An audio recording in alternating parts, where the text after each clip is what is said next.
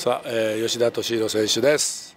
最近なんかまた余裕が出て少しこうね競争もしっかり走ってるような感じしますが。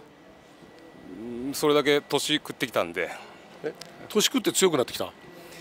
ですかね、まあ、どうどうなの？力そのものが以前より落ちたと思うの？それとも変わらない？強くなった？力そのものは、多分そんなに変わってないと思うんですけど、うん、まああのやっぱいろいろね経験する時間が長かったので、うん、まあ、落ち着いて周りが結構よく見れるようにはなったかなと、うん、なんかね思い切りは良くなったような気がするけど。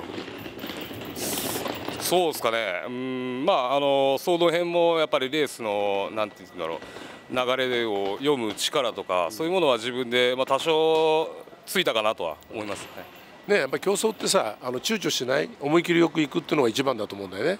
それが特に自分にはね多分一番の武器武器というかそれしかないかなという感じなんで、それがないとやっぱ毛がついてこないしね。そうですね。ねまあ中部地区もなんかね最近他の選手それほどパッとしないんで。うん本当はねやっぱりもっとね、あのー、若い特に自力選手なんかがね目立たなきゃ自分みたいなね、あのー、ベテランがあの目立っててはね業界的には良くないと思うんですけど、うん、まあその自分のあの力に変えて、うん、頑張りたいなと思いますけど、ね、若い選手のお手本を見せるように。そんなねまあついていってるだけですけどね若い選手。こうやって走るんだぞっていう。